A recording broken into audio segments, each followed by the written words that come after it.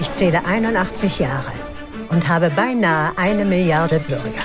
Ich bin seit 62 Jahren im Amt und somit die dienstälteste Monarchin in der Geschichte. Sind wir fertig? Mr. Karim, Sie reisen nach England. Ihr bedient die Königin, aber seht Ihre Majestät auf keinen Fall an.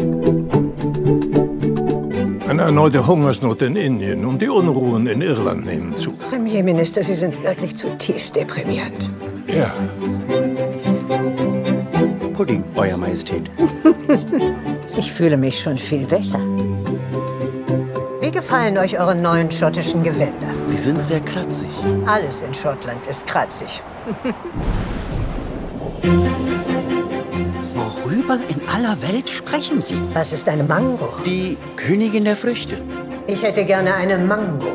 Sie wachsen nur in Indien. Ich bin Kaiserin von Indien, also lassen Sie eine schicken. Ich dachte, es hieße, sie stirbt. Keiner weiß, wie es ist, Königin zu sein. Bertie, Mutter! spionierst du mir etwa nach? Ich fühle mich so einsam.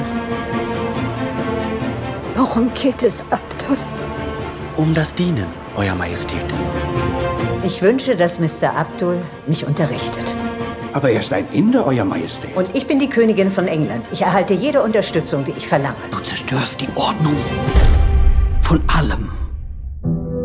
Mutter, du stürzt die Monarchie in eine Krise. Premierminister? Euer Majestät? Du lässt diesen indischen Bauern fallen oder wir erklären dich für verrückt.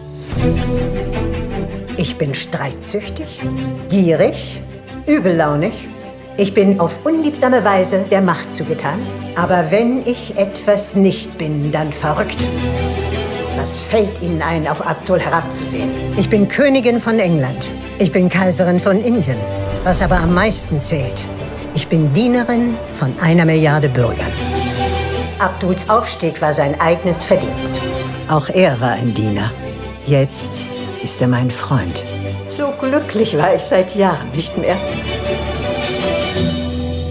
Ein Geschenk des Kaiserreichs Indien. Was ist das? Eine Mango. Sie ist hinüber.